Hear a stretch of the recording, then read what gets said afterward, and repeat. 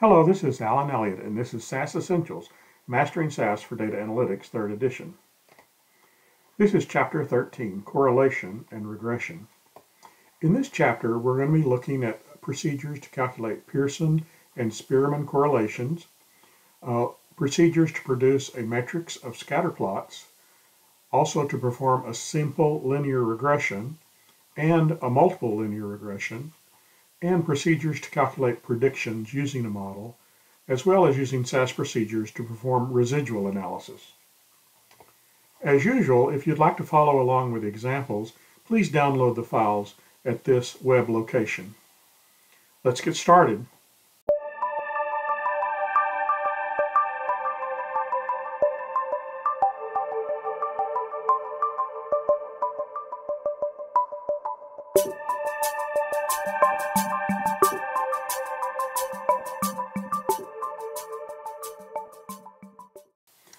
Let's look at section 13.1, correlation analysis using PROC-CORR, C-O-R-R.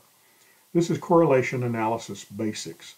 So the correlation coefficient is a measure of the linear relationship between two quantitative variables measured on the same entity.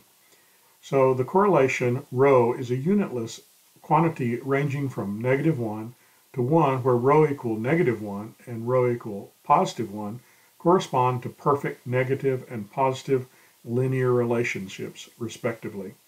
And rho equals zero indicates no linear relationship. In practice, it's often of interest to test these hypotheses.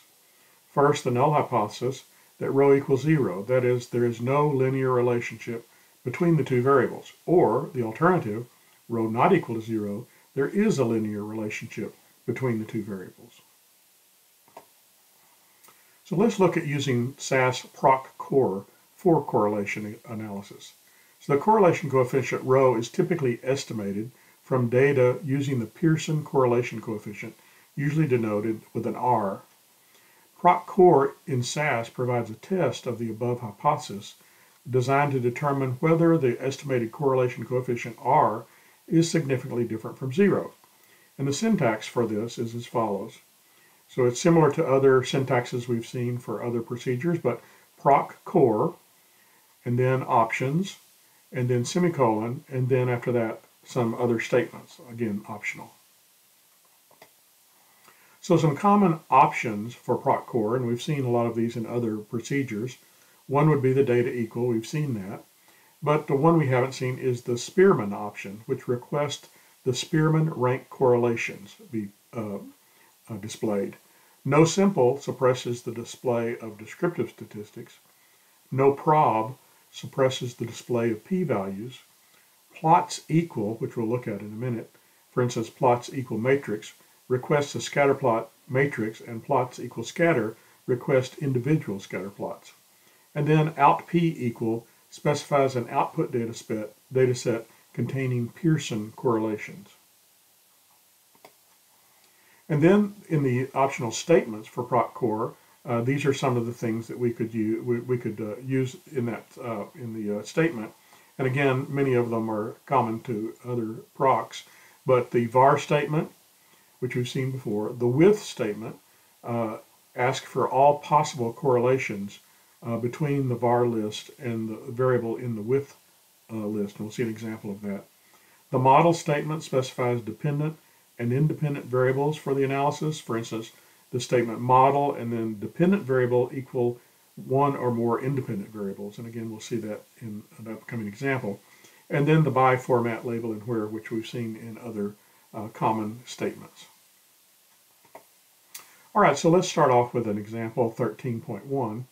Open up the program file acorr1.sas, and we see this code, a simple program where we have proc CORR and we're using the data called sum data that's on our hard drive. And we're asking for uh, correlations between the variables age, time one, and time two, and then a title and run. And when we, when we uh, submit this program or run it, uh, we see the table that we get below here. And notice that uh, in each cell, the top number is the correlation in each box, as you see, and the bottom is the p-value testing the hypothesis. So if we look at age and the uh, age and time one, for instance, we see the correlation is 0.0088, and the p-value is 0.0002. So what that tells us is that the correlation, the estimated correlation is 0.5, and that the uh, that we reject the null hypothesis that it's zero. It's sufficiently different from zero uh, to say that uh, this is an actual uh, uh, correlation. And then you can look at it for the other ones. Now, you might also notice that this is like a mirror image of each other. So we can look at age by time one or time one by age, and you get the same answer. And then on the on the diagonal, obviously the correlation between each variable, age by age, time one by time one, is always going to be just one. Let's look at another example, uh, 13.2. So open up the program file acorr2.sas, and again we see this code. And the difference in this code is we've added the statement plots equal matrix. Now notice that this is in the uh, options area, proc CORR, before the semicolon. So we have the data option and then we have plots equal matrix. The rest of it is pretty much the same as what we saw in the previous example. So let's see what this does. All right, what, what we've asked for by plots equal matrix is a plot of a matrix of the data. So again, uh, we can look at uh, age by time one, and there is the uh, plot of the uh, observations, age, age by time one. The second uh, cell uh, at the very top, or the middle cell, and then age by time two would be the third cell in the top group and so forth. And, and, and visually we can see that probably the best correlation would be time one by time two. Look at that and you can see that the uh, scatter plot the, of uh, observations is a much tighter uh, scatter around uh, what we would think of as a linear correlation there. And that's not surprising because that one had the highest correlation that we could, we could see. Let me back up just a second and we see that that correlation was 0.76. So that was the highest one uh, we saw in the group, and so naturally that would be the one visually that would look uh, like it had the best correlation. We can also change uh, the option to plots equal matrix and then in parentheses histogram, and what it'll do is now include a histogram uh, in the uh, diagonals. Now this is a histogram of whatever variable uh, is listed at the very top. So the first histogram is, is the histogram of age, and then time one and time two. Now, where this comes in handy, if we're maybe concerned about the uh, the normality of uh, the data, or maybe we're interested in seeing if there are some outliers or something. For instance, look in age one by uh, time one, and we see this lone uh, dot over at the bottom left.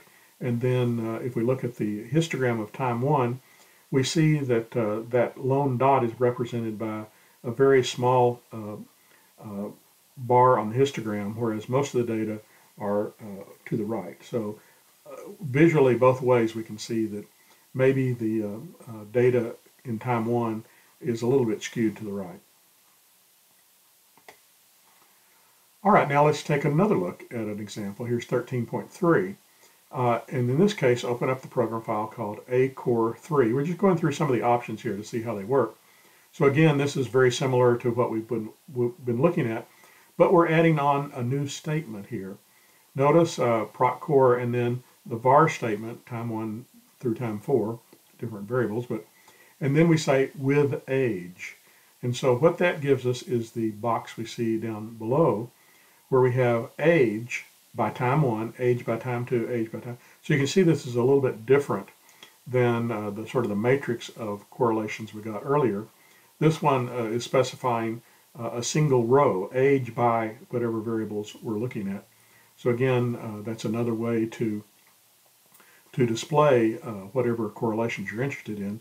And again, the correlation value or uh, coefficient is on the top, 0.5, whereas the probability uh, for testing the hypothesis is on the bottom. So for instance, for time one, again, it's 0.5, and then the p-value 0.0002. So that was correlation, which we can obviously do it with several different ways, but it's a fairly simple thing to do. But now let's move on to simple linear uh, regression. So simple linear regression is used to predict the value of a dependent variable from the value of an independent variable. Uh, so the following code would uh, do that. So we have procreg, And then we have a model statement. We haven't seen this before, we haven't seen this before, but model FVC, which is a, is a variable, and that is going to be our dependent variable, the one on the left, and then ASB, whatever that is, is going to be an independent variable. So we want to see if we can predict FVC from ASB. And that's uh, so how this model statement works. We'll see that in some examples here. So to simplify that, it's model and then dependent variable on the left equals independent variable on the right.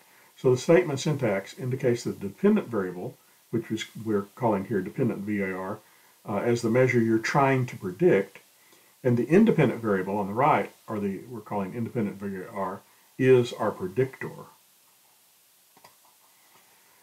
So what does that mean? So let's look at the uh, what a regression line looks like. So a regression line is an estimate of a theoretical line describing the relationship between that independent variable x, we're going to call it, and the dependent variable y. So here we have uh, an equation here where y is the independent variable, you see. Y is equal to, and then we have alpha plus beta x uh, uh, plus uh, some error term. And the, the thing we're most interested in there is the, the x, that's what we're, the our independent variable. And then we're going to estimate b, which is going to give us, uh, we're going to actually estimate uh, alpha and beta, and that's going to give us an equation so that we can predict y from x. So A, or alpha, uh, is the y-intercept, beta is the slope, and the little e there is an error term uh, that's a normally distributed with zero mean and constant variance. So beta equals zero, if, that, if we're going to test that, beta equals zero, and we find out that that's true, that indicates there's no linear relationship between x and y. A simple linear regression analysis is used to develop an equation for predicting the dependent variable given the value of x of the independent variable.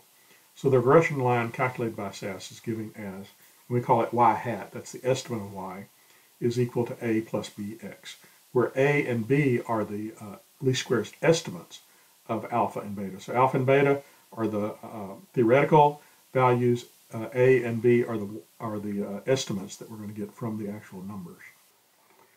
All right, the tested hypothesis for linear regression is as follows. So the null hypothesis states that there's no predictive linear relationship between the two variables uh, because beta equal zero indicates there's no linear relationship between x and y, then the null hypothesis of this relationship is tested using these hypotheses. Uh, so the null hypothesis is that beta equals zero, that is, there's no relationship, or the alternative beta is not equal to zero, uh, which means there is a relationship. And of course, we use a low p-value, say p less than 0.05, to indicate significant evidence to conclude that the slope of the line is not zero. That is, some knowledge of x would be useful in predicting y.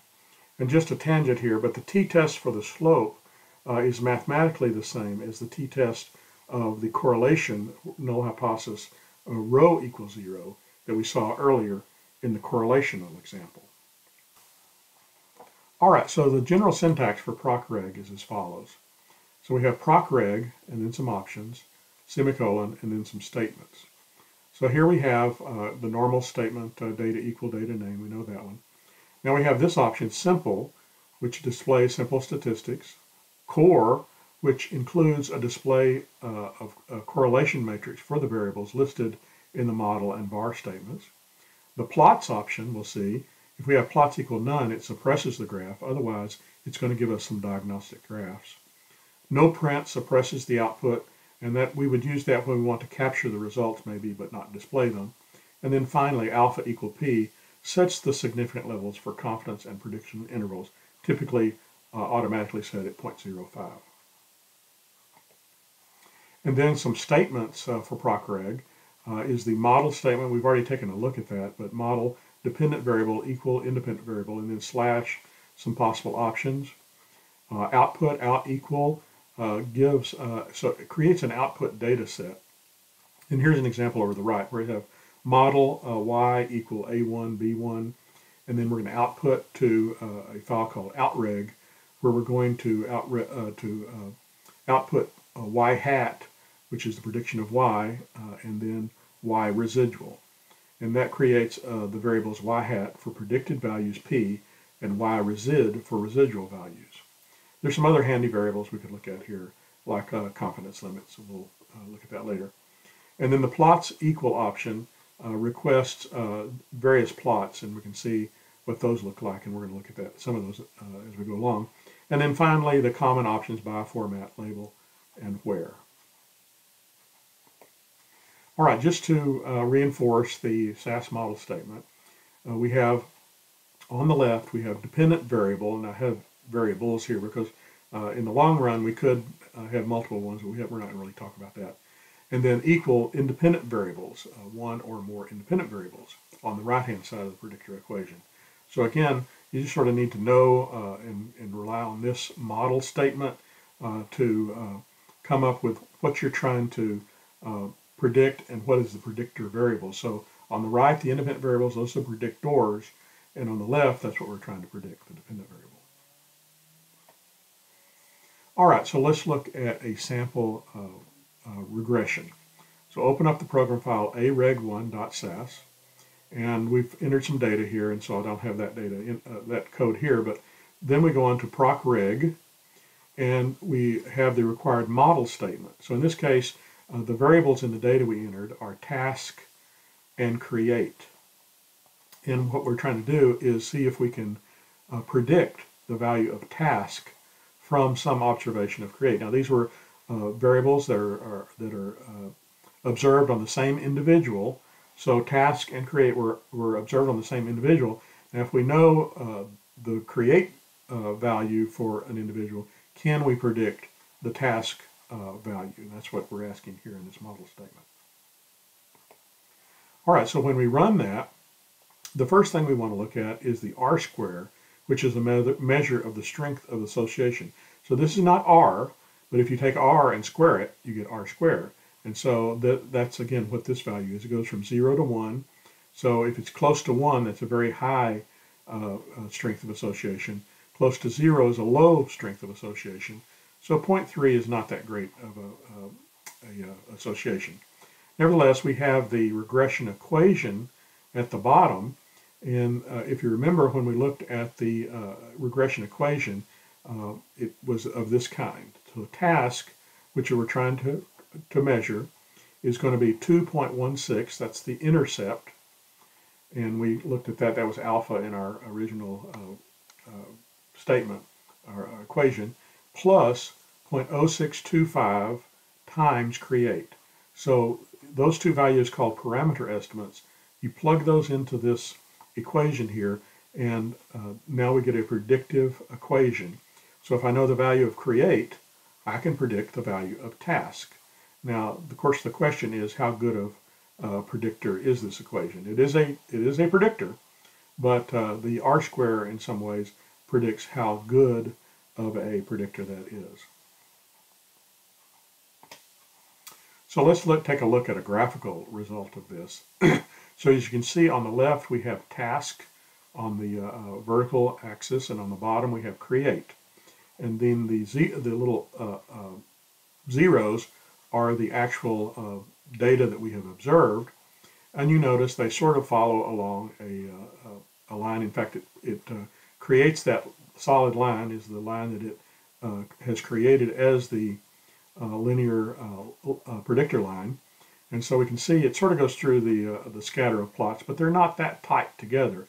And remember, the uh, R square was 0.3, and that told us that this, uh, this scatter along the line was not really uh, great, but it, it, there is some prediction value here. The shaded error area represents a 95% confidence interval for the average task or for a create score. So if we have a create score of 60, for instance, we can go up there uh, and, and uh, to the line, we see that we would predict about a 5.8 or something like that. And then this 95% uh, confidence interval uh, gives us some uh, range or some idea of how good an estimate that might be. Then we have some diagnostic plots for the linear regression. And again, this is given to you without asking. You can say no plots and, and uh, uh, not get these. But uh, these are often helpful uh, in order to uh, try to determine if this is a good fit or not. The first one is the residual. uh, plot at the upper uh, left.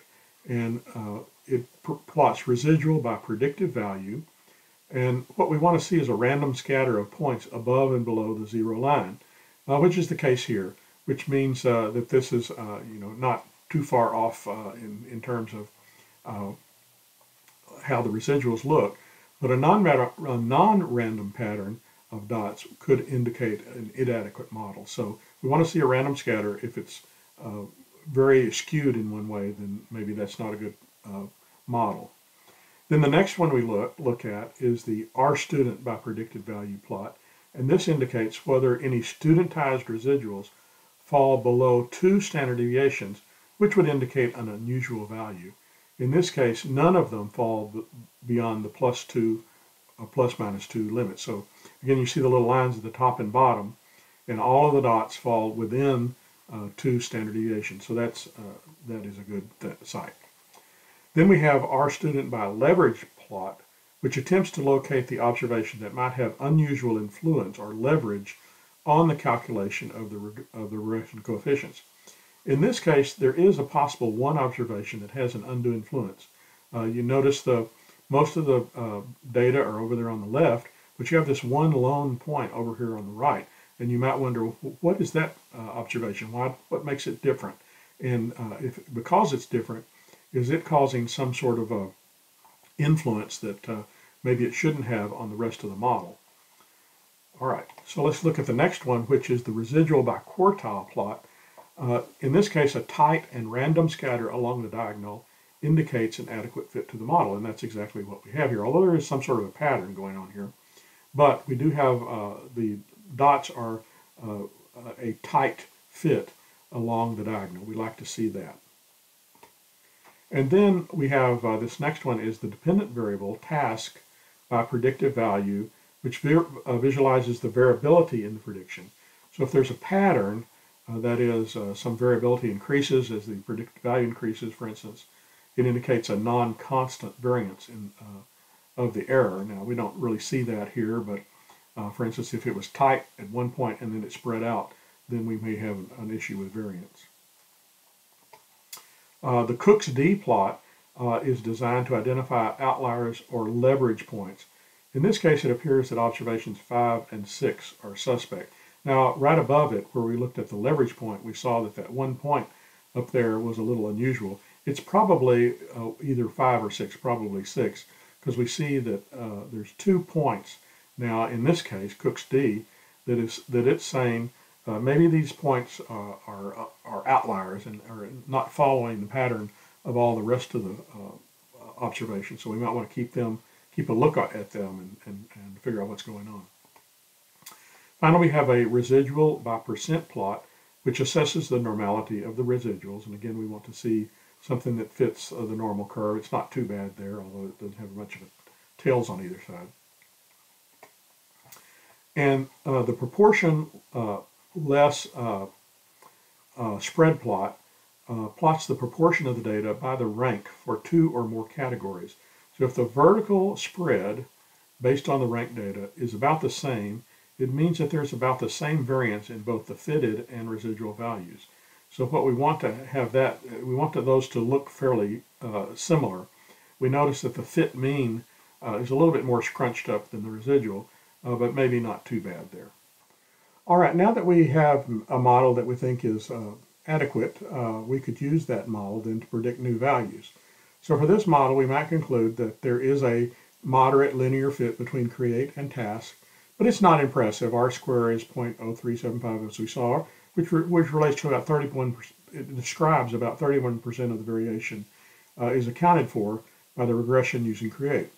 So using the information in the regression equation, uh, you could predict the value of task from create equal 40. So if we think a uh, if some new student comes in, for instance, and gets a value of 40, we might want to uh, then predict what their task score uh, might be. And in this case, uh, we plug it into the equation, and we see that we would predict a task score of point of uh, 4.67 using the equation that we've created. So again, uh, once we have a create uh, an equation, we can plug in numbers on the right-hand side which are observed, to predict the numbers on the left-hand side, uh, which are predicted uh, values.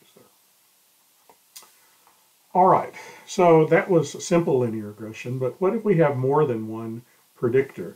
And in that case, it becomes multiple linear regression. And again, we're still using PROC-REG. So multiple linear regression is an extension of simple linear regression. Uh, and in this case, there's a single, still a single dependent variable y, but there's more than one independent variable x. And as with simple linear regression, the multiple regression equation is calculated based by SAS uh, in a sample-based version of the theoretical equation describing the relationship. And again, I won't go into it in detail, but basically y uh, in this equation is, our, is what we're trying to predict. Uh, alpha, again, is the intercept, and then we have uh, betas for each one of the x's. So if we have uh, the x's are the predictors, and so we're to we're going to then estimate a beta value for each one. We plug those values into this equation, uh, and then we can get a prediction equation. All right, so as a part of the analysis, the statistical significance of each of the coefficients is tested using a student's t-test to determine uh, if it contributes significantly. So in this case, the null hypothesis, and there's going to be multiple ones of these, uh, the null hypothesis for the first predictor, uh, beta 1, for instance, is, is equal, and the null is beta 1 does not equal 0. And then there's one uh, similar hypothesis, beta 2 equals 0, beta not, uh, 2 not equals 0. So each one of these tests, we would uh, then uh, use some low value, and we'll in this case just stick with 0.05, to conclude whether or not each one of the predictive variables is an important predictor uh, in the equation that we're uh, developing. All right, so as we mentioned, uh, just as a refresher, here we have proc-reg, we have options, and we have statements. So let's start filling in this information. Uh, again, the options that we see, uh, uh, an option P requests the table creating predictive values. R requests that residuals be analyzed. CLM predicts or, or prints out the 95% confidence limits, upper and lower limits. CLI requests upper and lower confidence limits for the individual values. Include equals some number is include the first k variables in the variable list. As we're going to see later, we're going to look at how to select variables. Uh, selection options, we're going to look at these, but there's backwards, forwards, stepwise, and so on. Uh, SL stay specifies the maximum p value for a variable to stay in a model during this automated selection procedure.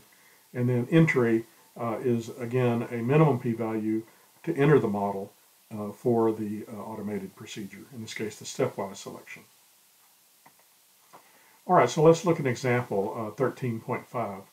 Open the program file named areg2.sas and you'll see this code. And again, there's some data that's been previously entered. But we're going to uh, uh, now do a proc reg and what we're trying to do here is we're trying to predict a job score. We give it, we've given some uh, uh, uh, of our employees four different tests. And each of these tests we're thinking might be good predictors of how well they'll do the job. So the idea might be if we can come up with some easy tests to give employees to see how well they do their job, then we might be able to give these uh, same tests to applicants and predict how well a job they would do if they were hired. So that might be the motivation for creating this kind of analysis. So in this case, uh, uh, we have four different tests, and can it predict a job score? And the, the other question is, are all four needed, or can we get by with just taking two of these tests? Maybe they cost $10 each or $20 each. Can we just do a couple of the tests instead of all four and save some money? All right, when we run this uh, initial analysis, we're going to get an R square, in this case of 0.97. Now remember the last time we did it, we got 0.3 something. So this is a much better predictor uh, equation than our previous uh, predictor equation. And so that's why I want to look at R square. The closer it is to 1, the better uh, the strength of the prediction is. Uh, so again, we have parameter estimates, and this is sort of an expanded version of what we saw for the simple linear regression, again, we have intercept, in this case 0.95, or negative 0.9555939.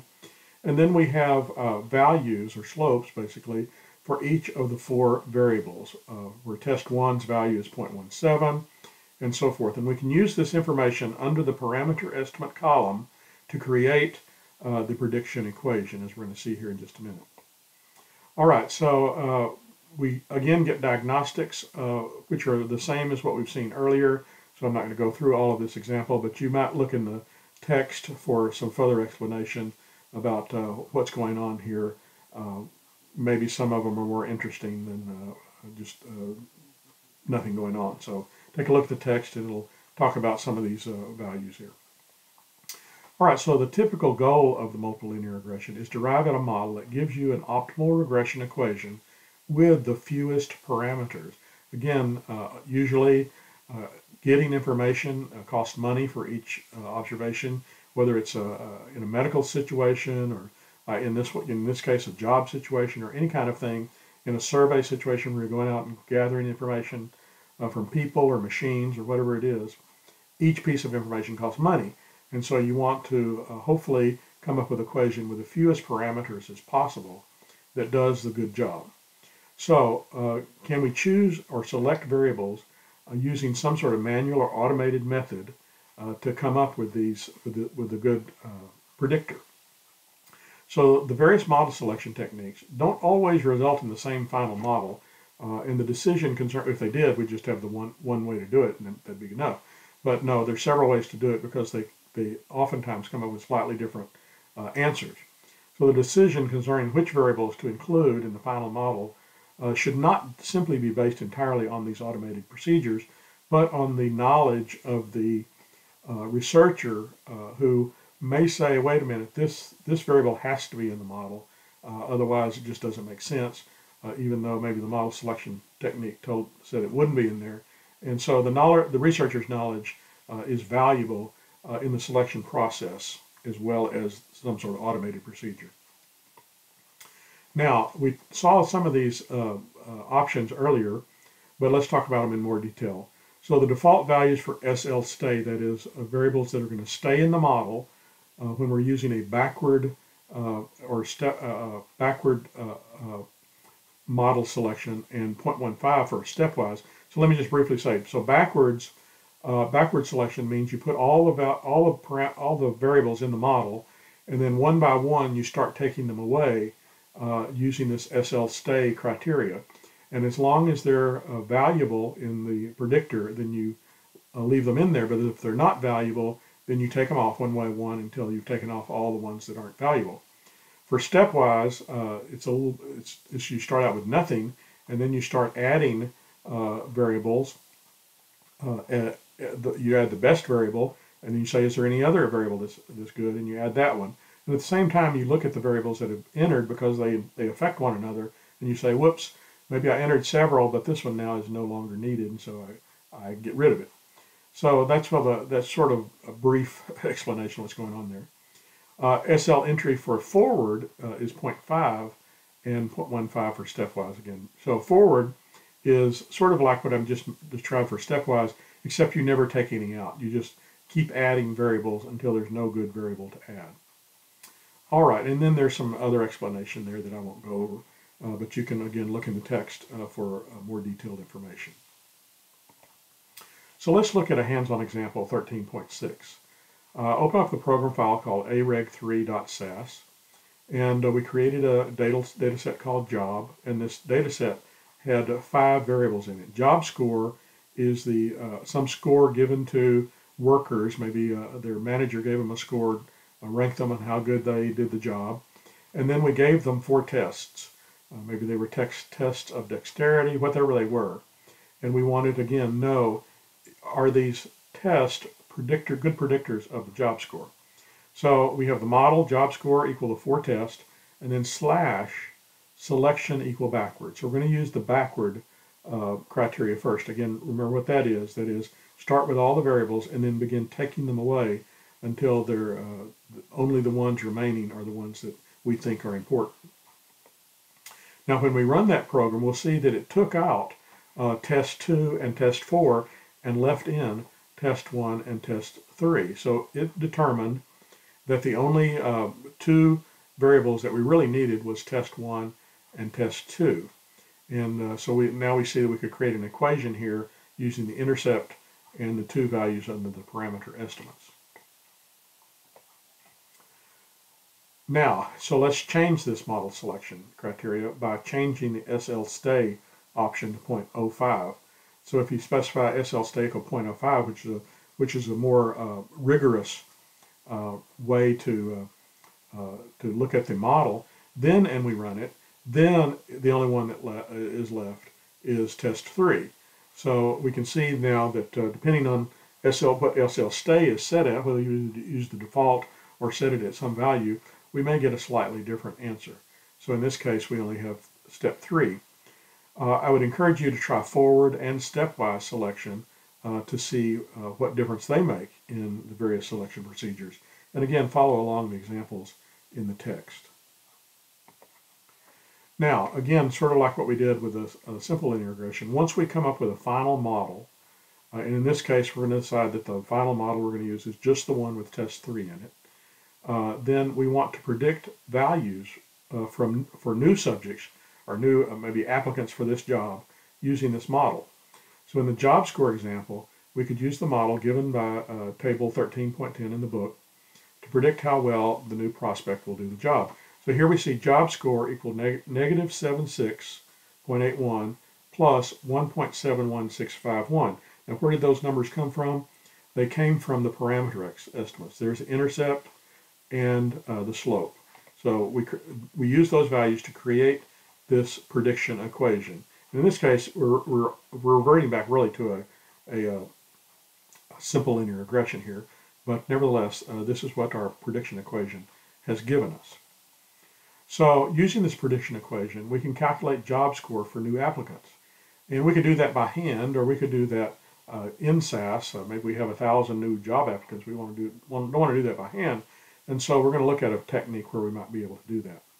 So we're going to create a new data set containing new values for the independent variables, that is new applicants. We're going to merge uh, the two data sets, append them, and calculate the regression equation and the regression predictions, and then use the ID option to display new values in the output.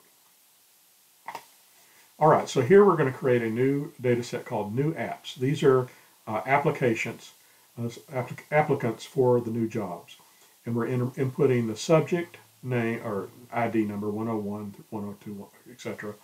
And uh, we gave them a test, test three. And here's the value for the test. Uh, uh, subject 101 got a 79, subject 110 got an 87, and so we have uh, new values for the test three. Now this is not the old values that we used to predict uh, the equation, but these are brand new values. So uh, we're going to create another data set called report where we're going to combine the old data set, which was called job, and the new data set called new apps. We're using the set statement, set, job, new apps. That basically appends new apps onto the bottom of jobs. We're also going to create a, a new variable called predict ID.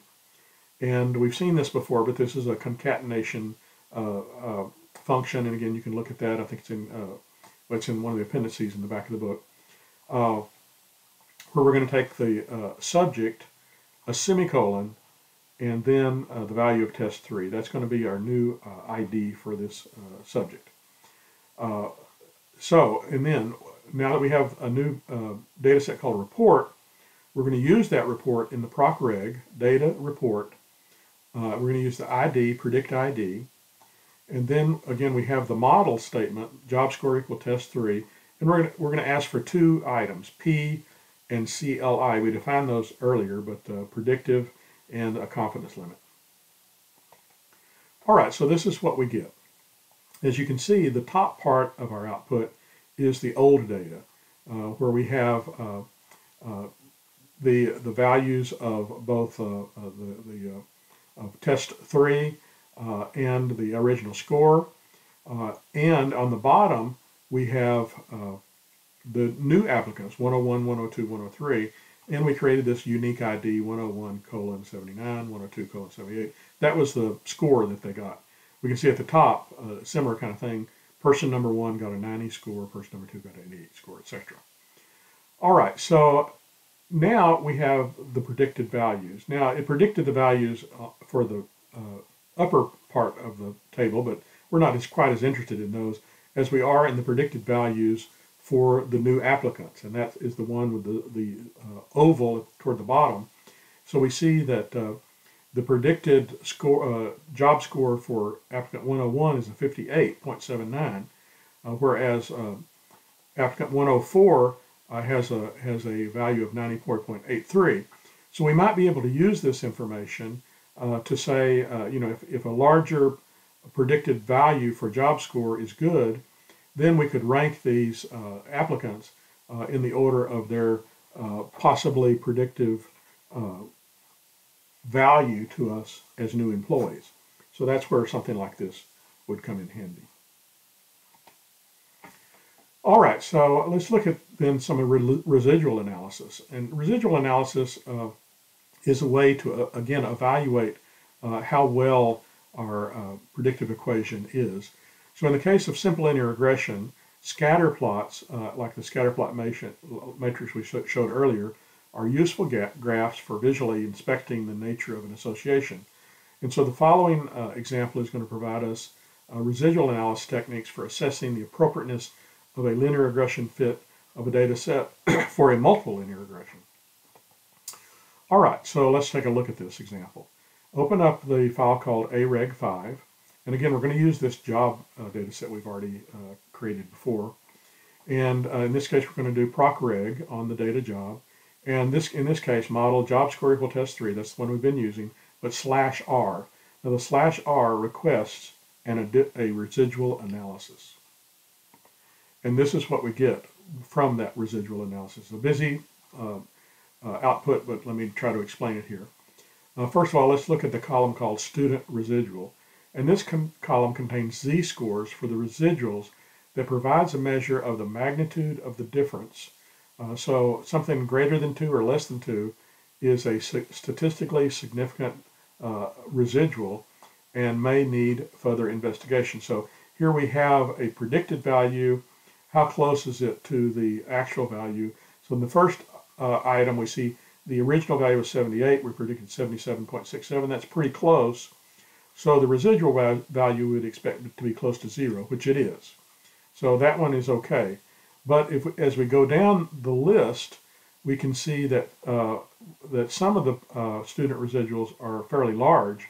In, fa in fact, in uh, the case of observation 10, uh, we get a negative 2.04, which means that that predicted value uh, was uh, diff much different than what we would have expected, and therefore we might want to look at observation 10 to see if maybe it was miscoded or maybe something else was going on there. Also, we look at the Cook's D statistics, which gives an in indication of the influence of a particular data point. A value close to zero indicates no influence, and a higher value, the greater the influence. So again, now we look at those and notice that uh, I, uh, uh, person seven or uh, observation seven uh, had the highest Cook's D. Again, what we might want to uh, examine there is what, what's going on with this value here. Again, maybe it's a miscoding, maybe something went wrong during the test. Uh, and again, we might want to use this to analyze uh, our data set and determine, one, if something was wrong with how it was collected, maybe an error in the recording of the data, or simply that uh, maybe this individual was uh, uh, much different than uh, maybe we would, would predict. And so it could be any of those things. Nevertheless, this residual analysis gives us a handle on trying to figure out what values might be different. Another way to look at it is little, uh, if you look at the little stars on the second to the last column where it goes from negative 2 to 2, this is giving the same information as student residual. You can see the four stars at the bottom indicates a very large departure from uh, from uh, from zero, uh, and then the two stars on uh, subject seven again shows a little bit of a departure uh, that we might want to be concerned about. All right, so that is the uh, uh, conclusion of this chapter on how to measure the association between two quantitative variables using correlational analysis or, or uh, uh linear regression. Uh, we're going to continue on to chapter 14, the analysis of variance.